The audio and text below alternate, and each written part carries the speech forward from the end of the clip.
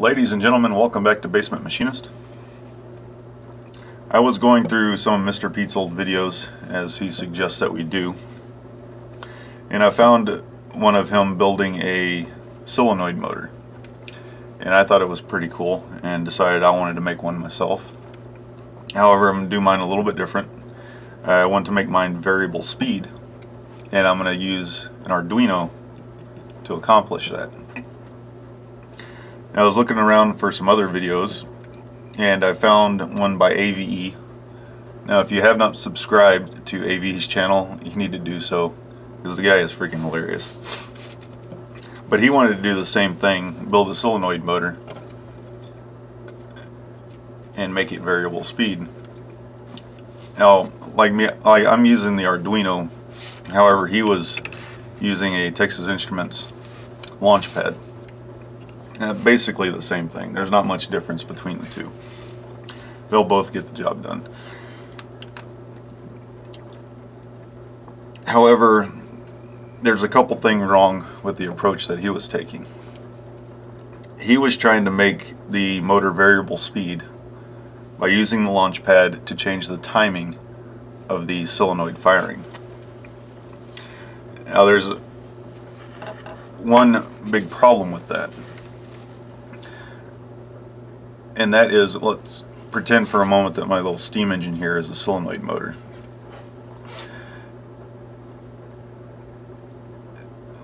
He was changing the timing with the with the uh, launch pad. However, he the solenoid was receiving the same voltage every firing. That means that the shaft was being pulled into the solenoid at the same speed every time it fired.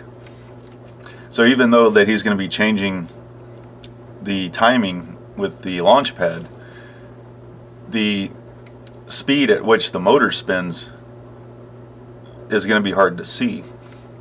Because what it's actually going to be doing is the solenoid of fire, the motor would spin fast, slow down, and then it would fire again, it would spin fast and slow down if he could even get that far. The next problem is there was nothing telling the launch pad what position the motor was in. So what was likely to happen is that the solenoid would fire out of time. So it would spin in one direction and then the solenoid would fire out of time, like say maybe here, and cause the motor to spin in the opposite direction. So the operation of the motor would be very erratic the proper way to do it is to one have some type of switch telling the launch pad what position the motor is in and we also need to create the variable speed by changing the magnetic flux that is produced by the solenoid. The greater the magnetic flux, the faster the engine is going to spin. The less magnetic flux, the slower it's going to spin. Now I did find another video um, on the channel Folly Towers. And this gentleman made a solenoid motor and made it variable speed. However, he did not use uh, any type of, you know, like Arduino or the launch pad or anything like that. He built the circuit from scratch. I, I'll put the circuit that he provides in his video on the screen and as you can see, he used a PWM circuit, a latching circuit, and a Schmitt timer to accomplish uh, the variable speed of the motor. Now in the schematic I have uh, part of it circled. All of that that's circled is going to be replaced by the Arduino. So our circuit is going to be much smaller. We'll be able to make our motor a lot more compact and the circuitry will be easier to hide. So let's head over to the computer, get the Arduino programmed, get some components on the breadboard, and get this thing working. Right, first off, I just want to say that working with electronics is pretty easy. As a guy over on the AV channel says, electronic components are like Legos. you put them together in the right order, you supply a voltage, chances are it's going to work properly. However, one mistake that beginners usually make is they try to go from nothing to the finished product in a single step. And you can't do that. If you do, you're pretty much guaranteed failure. What you need to do is think of the entire circuit and what you want it to do and break it down into its individual operations. Like for instance the circuit that we're building today, it needs to accomplish three things. One, we need to fire the solenoid. Two, we need to use a potentiometer to control the flux of the, the solenoid. And three, we need a switch that tells the Arduino what position the motor is in. So what we need to do is break those up into the individual pieces. We need to figure out which one is the most fundamental. And in this case, the most fundamental and simple part of the circuit is to have the Arduino fire the solenoid. Now unfortunately I do not have a solenoid built for this motor yet, so I'm going to use LEDs to represent the solenoids, which is a pretty accurate representation because if you remember what we're trying to do is change the magnetic flux of the solenoid. And the way you do that is changing the voltage that's supplied to it. And when you change the voltage, you're changing the current. And the current determines what the magnetic flux will be. And the same goes for this LED. The more voltage we apply to it, along with the resistor that's in series with it, the more current that'll flow through the LED, the brighter the LED will be. The less voltage, the less current, the dimmer the LED will be. So the brighter the LED, the more magnetic flux in the solenoid, the faster the engine's going to spin. The dimmer the bulb, or the LED, the less flux, the slower the engine will spin. So the LED is a pretty accurate representation. So the first thing we're going to do is wire our LED into the solenoid, or sorry, into the Arduino. Now we need to do it with a resistor, uh, current limiting. If you don't use a resistor with a LED, eventually your LED will burn out. So I've got the LED wired to ground through the LED or through the resistor, and then I'll connect the other lead of the LED to a PWM pin on the Arduino. Now the Arduino has six PWM pins. Number 3, 5, 6, 9, 10, and 11. and it's arbitrary on whichever one you want to use. I'm just picking number 5 because for the circuit that I'm building it's going to be convenient with uh, the one here and then we have a regular pin here that we'll use for the switch later. Now that we got the LED wired, we need to tell the Arduino what to do with that LED.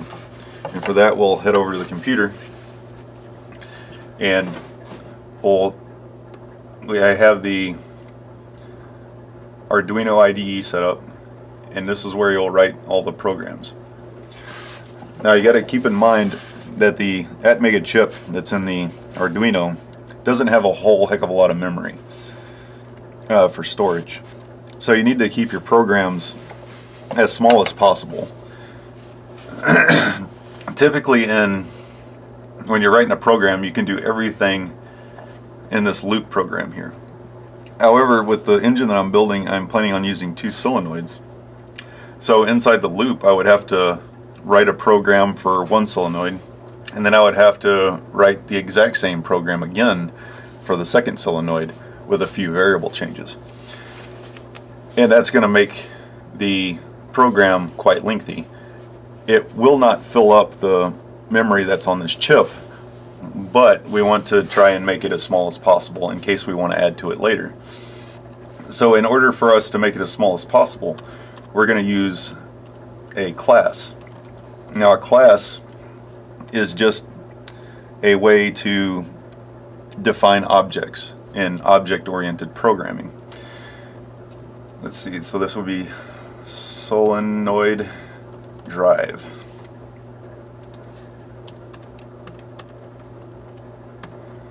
Okay, and then you can think of a class as defining an object. Then inside the class, we have to set the characteristics of the object. In the case of this solenoid, the only characteristic it has at the moment is the pin that it's connected to. And in this case, it's connected to pin 5. So what we'll do is we'll create an integer and we'll call it solenoid pin. And then that's all we need to do for that right now. now that we have our pin defined, we need to create a function that's going to set the pin. So we'll do a solenoid drive integer pin and then in here we're going to set the solenoid pin variable to the pin that is set in the function. Now we have to tell the Arduino what that pin is, whether it's an input or an output. And in this case, we're driving the solenoid, so it's going to be an output. So in order to do that, we do pin mode. Then we'll do solenoid, pin output. And then that's all we need to do for that. Now for the next part of the class, we need to create the function that will actually make this LED work, or the solenoid work. In this case, we're going to, hmm, we'll just make the LED blink for now. So we need to do an update to the solenoid that will make it blink. So we'll do a void update. And then inside here we'll write the code that will actually tell the LED to blink. So we'll do a digital write solenoid pin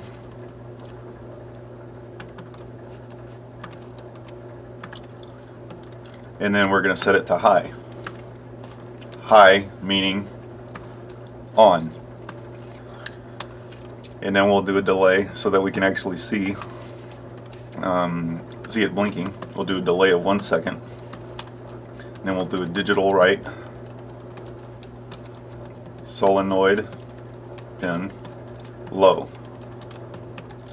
Turning the pin off. And then we'll do another delay of one second. Just so that we can see what's going on now at the moment we need to, now that we got the program, the class set, we got the variable set that tells us the characteristics of the LED. We define the pin and what type of what type it is, an input or an output, and then we wrote our function that will make the LED blink. Now we need to define our actual object. And the way you do that is outside the class, we'll do solenoid drive, solenoid 5. And 5 being the pin on the Arduino that the solenoid is going to be connected to. Now down here, now the way that the programs work is the Arduino will read what's inside this loop and it will continue to do what's inside this loop until you turn it off. So we need to tell the Arduino inside this loop that it needs to go up here and do all this class stuff up here. And the way that we do that is we do solenoid update. And then that's all you got to do. And the Arduino will continually read this come up here and do all this function up here and cause it to blink. So it'll read this, then it'll read this part, and it'll see that it's pin 5. It'll come up here, set the pin mode, and then it will do the function to update the LED. It'll do the digital write, high, delay, digital write low, delay, and then it'll come back down to the loop and start all over and go through that process over and over again until we turn it off. Now that we got the function set, we can upload it to the Arduino and I've got an error. Let's see. Oh, it's set to private. what we need to do is set it to public. This is because um, when something is public, that means it can be read by something outside the class file. Without it being public, I would have to move I don't know if it would work or not if I move this inside the class file. I don't know if it would work that way or not. But we'll make it public so that it can be read outside the class file. Now we should be good to go to upload it. And we're done. And as you can see, LED is blinking at a two second cycle. On for one second, off for one second. And it'll continue to do that until we turn it off.